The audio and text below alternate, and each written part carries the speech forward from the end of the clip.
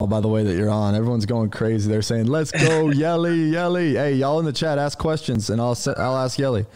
How you doing, bro? Oh, good, dude. I'm just hanging out, man. Same as you are, probably. Just trying to pass the boredom, but also try to to stay ready if we got to turn this thing back up here soon, which hopefully we do. Yeah, hopefully we got. Hopefully we start here pretty soon. Um, yeah, man. They're asking, "What's your uh, favorite song? What do you listen to before games?"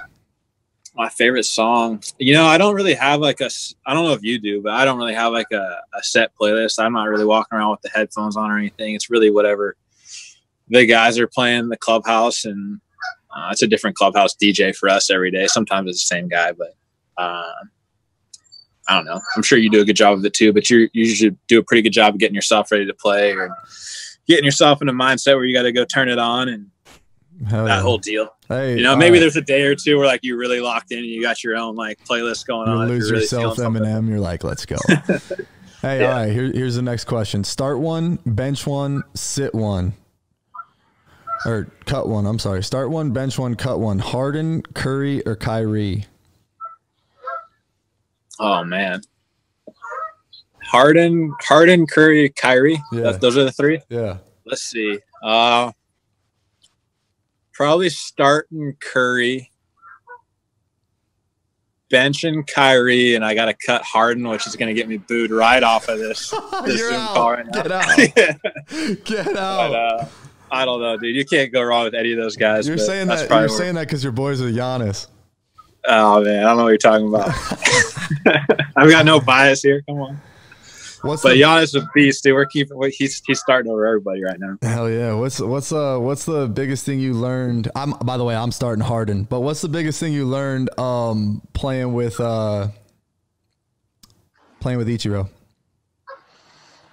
Just uh like a routine, man. Like this guy was so dialed in on his routine every day. Like it didn't matter if he was starting, if he wasn't playing it was the it was to the point where I don't know if I ever talked about this, but it was like the point where he would take the exact same number of like flips in the cage every day. Like, bro, they told me he ate California Pizza Kitchen for lunch every day. Yeah, well, it'd be like a different. It would be like a different thing. Sometimes it was like CPK. I think it was like Shake Shack. I guess throughout his career, it was like different different places that he really liked. I don't want to blow his spot up too much because he's such a private guy, but it was fascinating to watch, man. Just how like how routine oriented he was, how he could get himself to prepare. Great dude. Like I really like being around him. Awesome teammate. Um.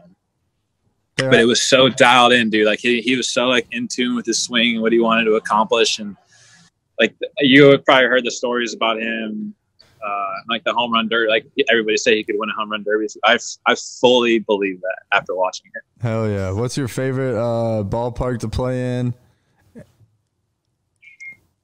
Uh, it's always so hard for me to like. That's a common question that we we get asked all the time. I'm sure you do too, and it's hard for me to pick. I, I like aspects of a lot of them, and it, it, probably depends on like the time of year and bro, atmosphere. I like both of our parks, bro. Minute Maid and um, Miller. They're both dope. Miller.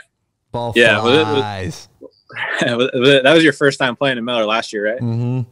Yeah, it's a good place to hit, and it's usually a pretty good atmosphere, good fans, and I think that's the only uh, place I could go deep to center. I was like, holy cow, I thought I flew out. well, did no, you just shave? great place to hit. Why'd you shave? Everyone in the chat's asking why'd you shave. They thought. Oh yeah, dude. So I was at I was like chilling the other day, and I, I just took a shower, and I like looked at myself in the mirror, and I was like, "This is got." I just started hacking away at this thing, but there's still time for it to come back. It'll it'll be back in like another week or two if I want it to be. But hell yeah, yeah. I just I just hacked it off one day. Hell yeah. What's uh What's the hardest pitcher you've ever had to face in the big leagues? Uh, I don't know. I mean, I'm sure there's some of them, but I don't really ever like giving anybody too much credit. That's, and that's not somebody like asked me earlier. Yeah, that's not a disrespect thing, but it's just like I, I have a hard time of like conceding to the fact that like I can't succeed against anybody on a given day. Like, yeah, I'm gonna get my ass handed to me all the time, and we all do in that game, but there's nobody that I'm going to be like, oh man, like this guy is really, he's getting me out today. There's some guys that you know, like you know in the back of your head, like ah, this guy's got my number. Yeah, but that's you're never gonna Severino, you're never gonna admit it. got my number, but yeah, I'm not gonna admit that just just today. That's it. Hey, uh, what's it like having Barry Bonds as your hitting coach? I learned a lot from Barry, and uh, I did that thing with Plouffe and the the John Boy guys the other day about like kind of what I learned from them and took away from that whole experience. And I tried to build on it throughout my career. And as you know, that we're always constantly trying to get better. Like just because you've had successful seasons in the big leagues doesn't necessarily mean that you're um, accepting of that and that you're you're cool with just staying at that level forever. We all want to get.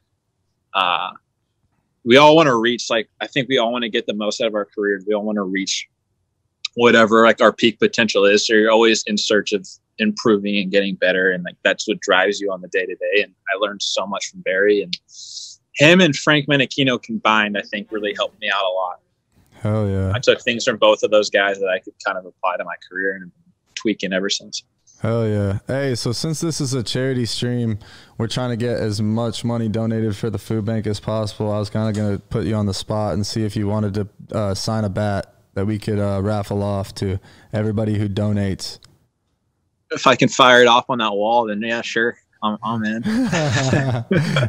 All right, so you're who, in. who we got back there? So we got two of the the Louisville Slugger bats from the All Star game last year, the Fender guitars, and We got some. a lot of Marucci stuff. We got some. Uh, we got some. Some bats from a bunch of guys across the league. Arenado. We got Jose Abreu. Um, we got some Players Weekend bats. Um, you uh, you down to sign one and send it off?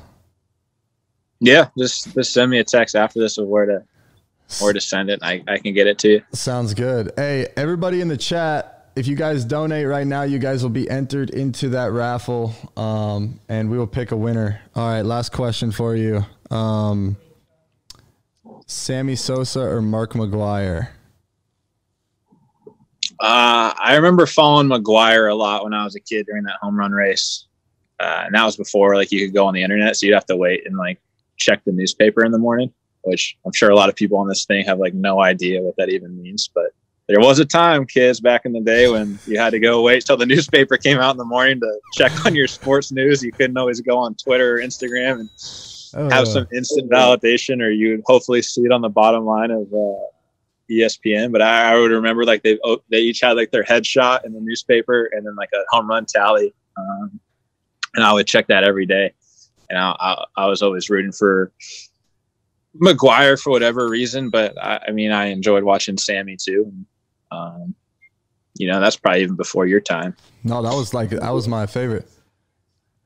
What'd you say? Uh, yeah, guys, sign. Remember, Yelly's gonna, excuse me, Yelly's gonna be auction or giving us a signed bat to send off to people who donate. So, thank y'all for donating. Yelly, thank you for joining us, bro. We'll uh, Yeah, man, you put one. You you're just staying up all night, like you're doing a 24 Bro, hour we're going deal. 24 hours. We got uh, actually we got Boris Diaw about to join in. Talk about Gregg Popovich. Talk about his career. Talk about his wine business. Yeah, we're just rolling, man. We got we got a bunch of people coming on helping us out. So thank you, thank you, bro. Nice, dude. Well, it's good work you're it. doing, man. Appreciate you for having me, and um, you, obviously bro. pulling for you guys to raise as much money as you can. Hell yeah, bro. We'll see you. Uh, we'll see you soon. Hopefully, we got a season.